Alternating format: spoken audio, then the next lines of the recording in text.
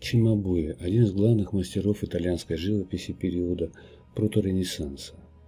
Настоящее имя Чени Ди Пепо. Чимабуэ – прозвище, означающее «быкоголовый», получил за несговорчивый характер и за упрямство. Жизнеописание художника Вазари начинает так.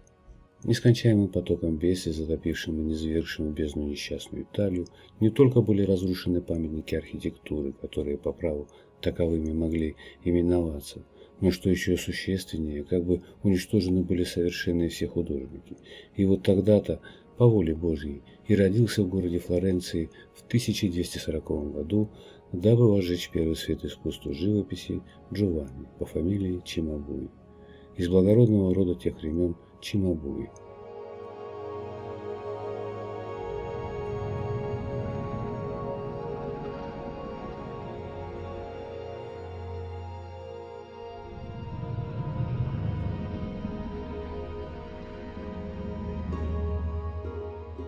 Когда же он подрос, отец, да и другие признали в нем прекрасный и острый ум, и для усовершенствования в науках он был отдан Санта-Мария-Новелла к учителю его родственнику, обучавшему тогда грамматике послушников этой обители. Однако Чимабуи, чувствуя к тому увлечение своей природы, вместо того, чтобы заниматься науками, проводил весь день за рисованием в книжках и на всяких листочках людей, лошадей, построек и всего, что только ему не приходило в голову. Этой склонности его натуры благоприятствовала и судьба, ибо тогдашними правителями Флоренции – были приглашены несколько живописцев из Греции именно для того, чтобы вернуть Флоренции живопись, скорее сбившуюся с пути, чем погибшую.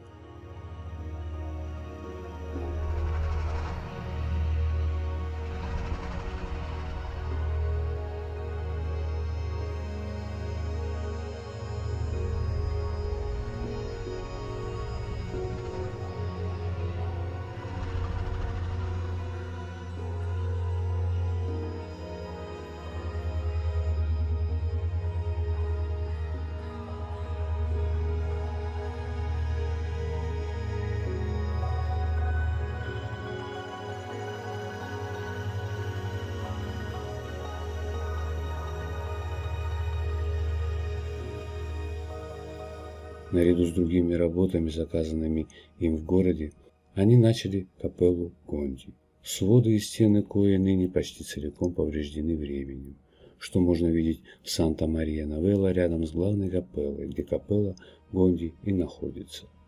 А Чимабуи, который уже начал заниматься привлекавшим его искусством, частенько убегал из школы и простаивал целыми днями, наблюдая за работой названных мастеров.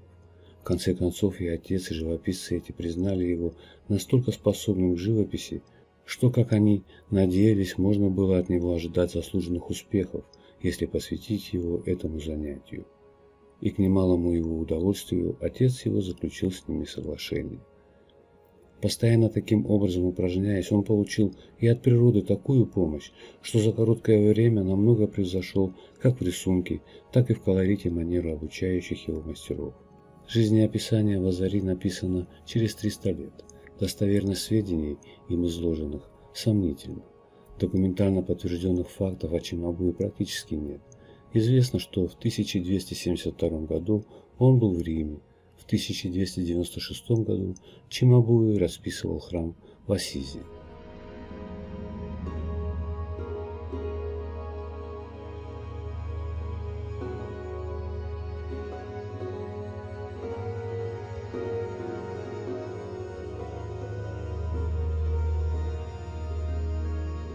Самым известным произведениям Чимабуи относятся работы, авторство которых не вызывает сомнений у специалистов в области искусства. Все они заслуживают отдельного упоминания.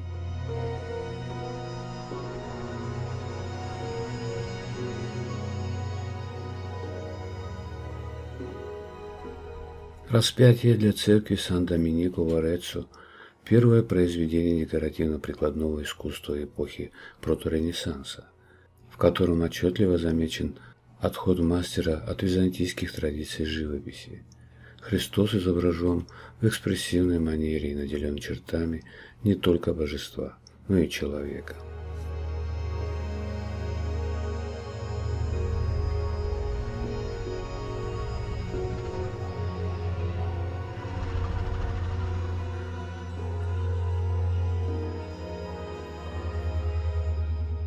Картина «Осмеяние Христа» – единственная картина мастера, когда-либо проданная с аукциона. Рекордсмен по цене среди произведений искусства эпохи проторенессанса. 19,5 миллионов евро. Миниатюрная картина была случайно обнаружена в квартире 90-летней француженки и вызвала огромный интерес покупателей на аукционе –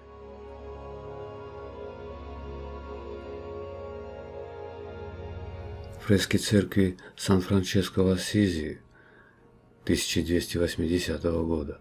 Масштабное произведение искусства, которое в наши дни находится в плачевном состоянии. Уникальные росписи потемнели от сырости и окисления, за исключением небольших отдельных участков.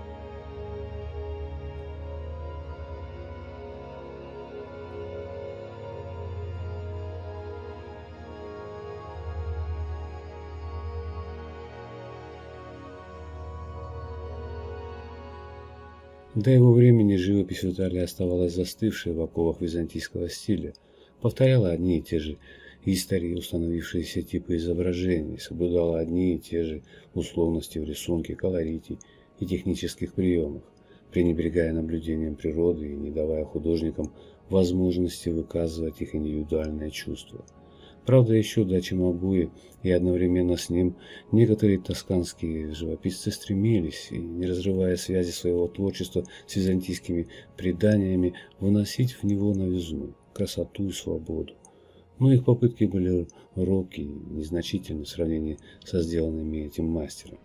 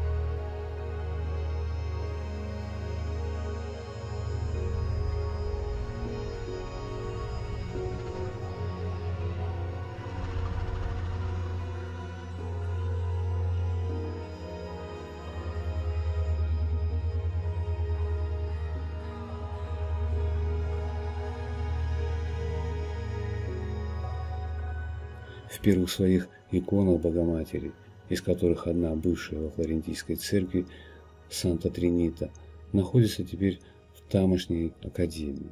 Чимабу является еще вполне византийцем, но вскоре в его произведениях старинные и традиционные композиции и фигуры стали более оживленными, привлекательными и величественными, а краски более свежими, изящными и натуральными.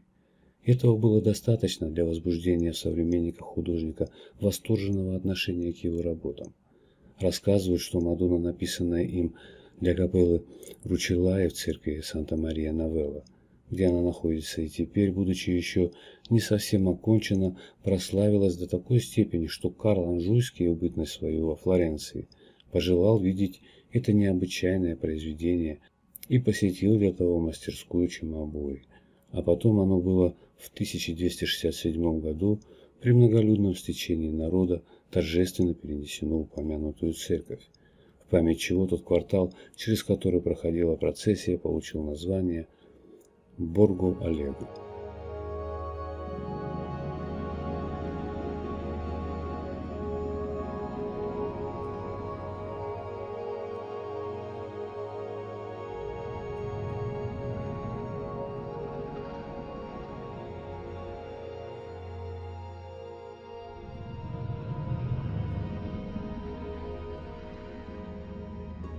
Богоматерь в этом образе представлена на золотом фоне, сидящей на роскошном троне с младенцем Христом на коленях.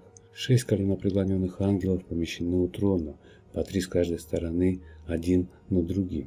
Лик Мадонны еще византийского типа, с тонким и длинным носом, миндалевидными глазами, высокими бровями и маленьким ртом. Но в этих чертах уже проглядывает выражение кротости и умиления. Лицо младенца такое же не детское – как и на всех вообще иконах того времени. Но в данном ему движении виден мотив, подмеченный художником в натуре. Общая композиция торжественна, не лишена изящества, а ангелы могут быть даже названы созданиями высокой красоты. Простые и светлые краски приближаются в телесных частях к естественным цветам, и вся техника живописи значительно лучше тогдашней византийской.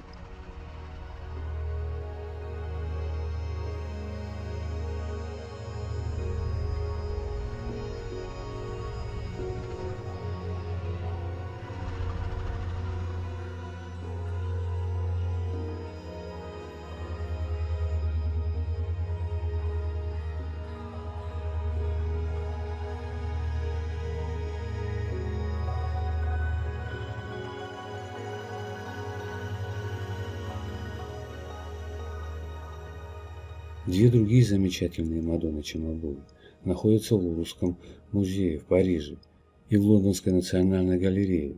Первая, происходящая из церкви Сан-Франческо в Пизе, окружена рамой с медальонами, в которых написаны изображения 24 святых. Вторая, представляющая Богоматерь в полуфигуре, первоначально принадлежала Флорентийской церкви Санта-Крочи. Несколько раньше, чем была исполнена Мадонна Ручелая, Чимабуэр трудился вместе с другими мастерами над украшением фресковой живописью верхней и нижней церкви монастыря святого Франциска в Ассизи. Но за исключением Мадонны с четырьмя ангелами, написанной, несомненно, и в нижней церкви, теперь трудно решить, какие именно из тамошних фресок принадлежат ему. Судя по манере исполнения, можно приписать ему более всех остальных лапзание Иуды и положение в гроб, к сожалению, пострадавший до такой степени, что содержание их едва различимо.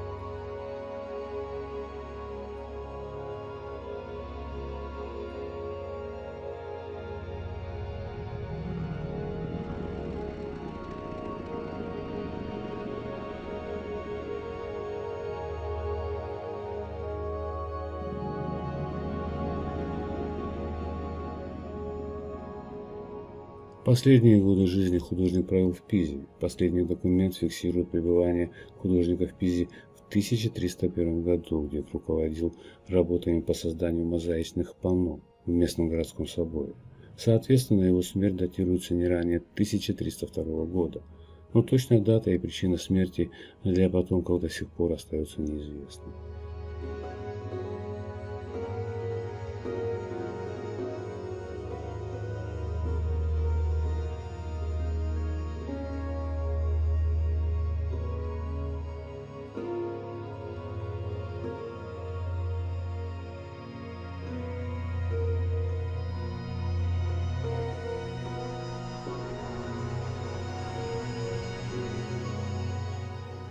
Часть мозаики Пизанского кафедрального собора 1302 год, а именно фигура святого Иоанна, мастер продолжал работу Франческо де Пизы, а завершил мозаику спустя 20 лет после смерти Чимабуи уже другой художник – Винчино да Пистоя.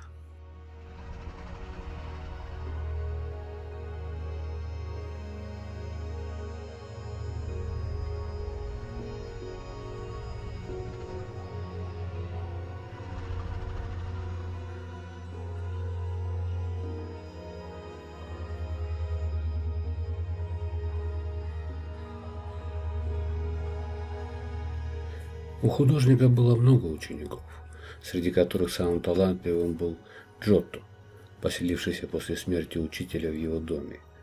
Источники позволяют получить представление даже о характере Чемабуи. Один из комментаторов, Данте, имевший возможность общаться с людьми, лично знавшими художника, дает такой психологический портрет – Чимабуи был самым благородным из всех известных людей, вместе с тем был он столь заносчивым и презрительным, что если кто указывал его работе на ошибку или недостаток, или если он сам замечал таковые, то немедленно бросал работу, как бы дорога она ни была ему.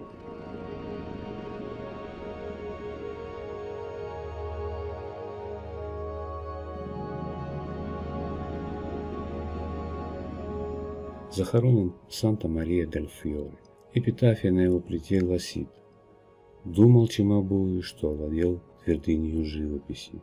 Да, при жизни он ею овладел, теперь же владеет звездами на небе». Данте пишет о художнике божественной комедии. Кисть Чимабуи славилась одна, а ныне Джото чествует без лести, и живопись того затемнена.